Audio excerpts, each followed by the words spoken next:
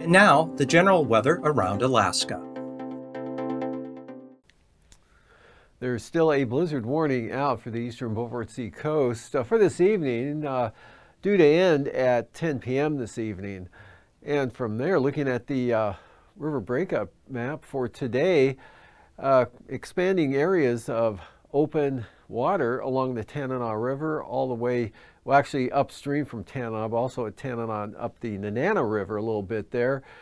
And uh, Chena River showing some mostly open areas there in and around Fairbanks. Also qu quite an area of some open water now on the Copper River and a little bit here on the Susitna River. And moving on to satellite imagery for today, a lot of clearing. Oh, oh, excuse me. Lot of clearing here on the southeast coast and um, some clouds with a remnants of an old front moving into the interior, bringing some uh, variably cloudy skies with some scattered showers into the interior there. And then up on the Arctic coast, uh, areas of snow covering much of the Arctic coast with snow and blowing snow occurring, winds gusting anywhere from 25 to 45 miles per hour. And again, that expected to continue until 10 p.m. tonight. Stronger system down here pushing rain into Kodiak Island and across Bristol Bay and uh, clouds pushing up into the uh, southern Kuskokwim Valley areas. And another system here starting to spread some moisture in toward uh, Shemya and Attu. Rolling that through again, you can see this system here pushing cloudiness north and northwestward.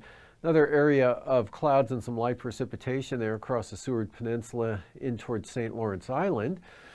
And on the chart today, you can see a uh, weak trough here right across the Tanana Valley and some scattered showers with, uh, or in, associated with that trough, kind of a dividing line between the chillier air blowing in on some northeast winds over the upper Yukon Valley and the eastern Brooks Range there, and the milder air down to the south. A lot of sunshine in the Copper River Basin today into south central Alaska with many areas reading or rising into the mid 50s here for south central Alaska and upper 50s near 60 up in the uh, Tanana Valley. A lot of sunshine today with temperatures in the 50s and 60s, lower 60s in Juneau this afternoon. And uh, rain, light rain, Kodiak Island, starting to spread up into southern Cook Inlet and across Bristol Bay and the Alaska Peninsula with a couple of troughs producing uh, showers here over the Pribilof Islands and down along the Alaska Peninsula. To the west, high pressure, light winds, dry conditions over much of the western Bering Sea. You can see the uh, precipitation shield associated with the uh, next system that tonight will slip kind of to the east and southeast here and uh, bring a chance of rain into Shemya and Attu, otherwise high pressure, light winds, dry conditions, isolated showers here in the northerly flow on the eastern side of that uh, ridge from the Bering Strait all the way down to the Fox Islands, but pretty isolated to scattered. Uh, otherwise dry here across southern Alaska. Isolated showers up in the interior and diminishing snow, diminishing winds, snow and blowing snow ending essentially for the Arctic coast. And it stays wet here. We've almost dropped the map advancer. And it stays wet here for the uh, southwest part of the state and in toward Bristol Bay. And a weak trough will uh, bring some shower chances into the southeast coast with the main front off to the southwest. Then tomorrow, this low will lift northward there and bring rain and increasing winds to the southern panhandle with precipitation spreading northward throughout the day. Mostly sunny skies here across southern Alaska and a trough in the central interior produced isolated to scattered showers, especially over the mountains here from the Alaska range back to the northwest. To the north there, quite nice. Uh, maybe some clearing for the Arctic coast now. Definitely lighter on the winds up there with some uh, pretty good sunshine into the eastern Brooks Range area and just isolated showers lingering here over the Alaska Peninsula and uh, pretty quiet out over the Bering Sea. In fact, uh, very quiet.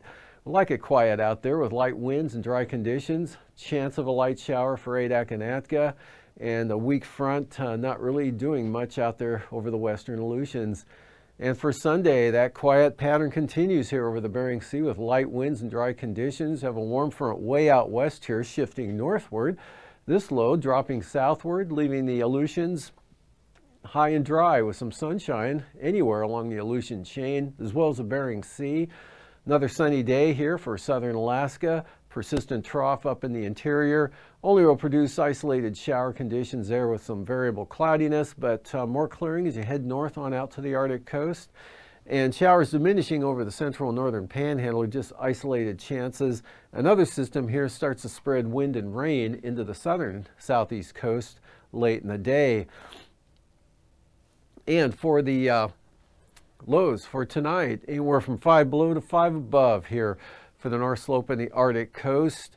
And in the teens and lower 20s for the Brooks Range. South of the mountains, though, upper 20s to mid 30s, all the way out to the northern Bering Sea, lower to mid 30s for the Aleutians and Pribilof Islands, as well as Kodiak Island, Bristol Bay, southwest interior. In the 30s across all of southern Alaska, except the Copper River Basin, those higher valleys dropping into the mid 20s.